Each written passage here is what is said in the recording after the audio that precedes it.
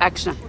Les secrets d'une bonne tartine, d'un petit déjeuner à la française, c'est du pain, c'est du beurre et c'est de la confiture. On étale bien le beurre, la confiture, très importante, qu'on étale bien. Voilà. Hop, le pot étant un peu, un peu trop petit, on va essayer de le rattraper ça paraît compliqué. Voilà. Si on ne s'en sort pas parce que la cuillère ne peut pas rentrer dans le pot, on va utiliser l'autre bout de la cuillère. Voilà. Tu peux euh, un peu euh, élégant. Alors très bien sûr.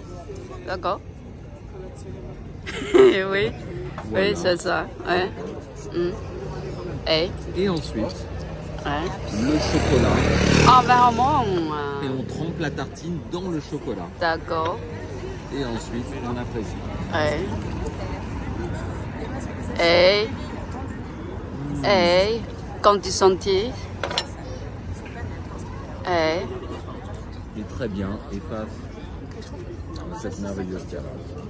oh. Bon appétit. Merci. Ciao, ciao. À bientôt.